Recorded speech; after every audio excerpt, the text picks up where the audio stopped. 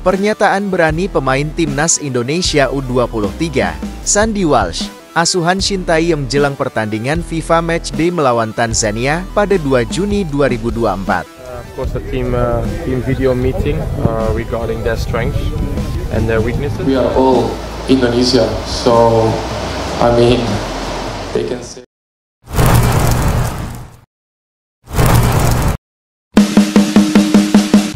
Menjelang pertandingan FIFA Matchday yang akan berlangsung pada 2 Juni 2024, Timnas Indonesia U23 sedang bersiap menghadapi tantangan berat melawan Timnas Tanzania. Dalam sebuah konferensi pers yang diadakan di Jakarta, pemain bintang Timnas Indonesia U23, Sandy Walsh, mengeluarkan pernyataan berani yang menegaskan tekad dan semangat tim asuhan Shin Tae-yong. Kami siap menang, ujar Sandy Walsh dengan penuh percaya diri. Kami telah berlatih keras di bawah bimbingan Coach Shin Tae-yong, dan kami siap memberikan yang terbaik untuk meraih kemenangan dalam pertandingan melawan Tanzania.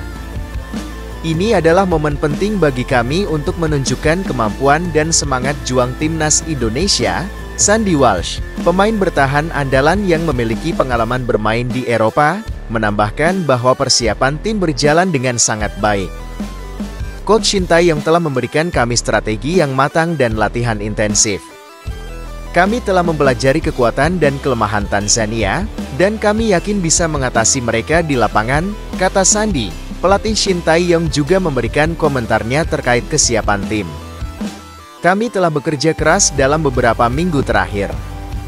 Tim dalam kondisi prima, baik fisik maupun mental. Saya yakin para pemain, termasuk Sandy Walsh, akan tampil maksimal dan memberikan penampilan terbaik mereka di pertandingan besok. Ungkap Shin Tae-yong, pertandingan melawan Tanzania ini menjadi salah satu ujian penting bagi timnas Indonesia U23 dalam rangka persiapan menghadapi turnamen-turnamen besar di masa depan. Dukungan dari para penggemar juga menjadi faktor penting yang diharapkan dapat memberikan motivasi tambahan bagi para pemain. Seluruh pemain sangat bersemangat dan termotivasi. Kami merasa didukung penuh oleh seluruh masyarakat Indonesia, dan itu memberikan kami energi ekstra untuk berjuang dan memenangkan pertandingan, tambah Sandy Walsh, pertandingan yang akan berlangsung di Stadion Utama Gelora Bung Karno ini diprediksi akan menarik banyak perhatian. Ribuan supporter diperkirakan akan memenuhi stadion untuk memberikan dukungan langsung kepada Timnas Indonesia U23, prediksi laga, Analis sepak bola memperkirakan pertandingan akan berlangsung sengit. Tanzania dikenal memiliki gaya bermain yang agresif dan cepat, namun dengan persiapan matang yang dilakukan oleh Coach Shin Tae-yong, timnas Indonesia U23 diharapkan bisa menghadapi tantangan tersebut dengan baik.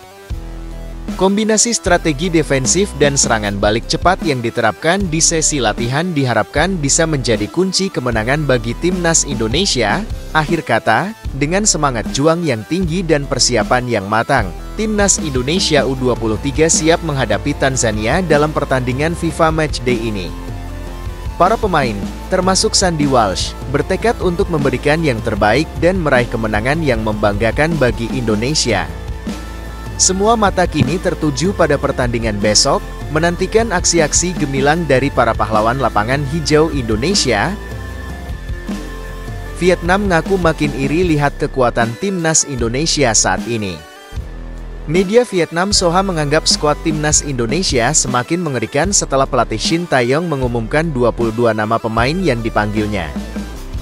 Sebagaimana diketahui timnas Indonesia akan menghadapi dua laga kualifikasi Piala Dunia 2026 zona Asia terakhir bulan Juni mendatang, melawan Irak, 6 Juni, dan Filipina, 15 Juni.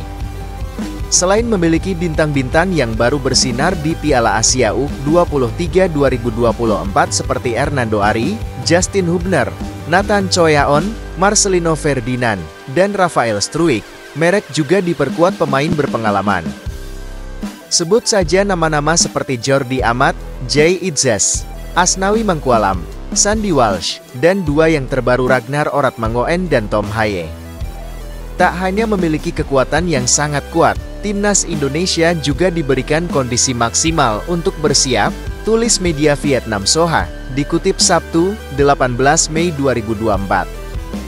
Sebelum laga itu pelatih Shin Taeyong menjadwalkan anak asuhnya untuk menjalani pertandingan persahabatan awal pada 2 Juni untuk meninjau kekuatan di grup F babak kedua kualifikasi Piala Dunia 2026 saat ini, timnas Indonesia punya keunggulan besar dengan unggul 4 poin dibandingkan Vietnam.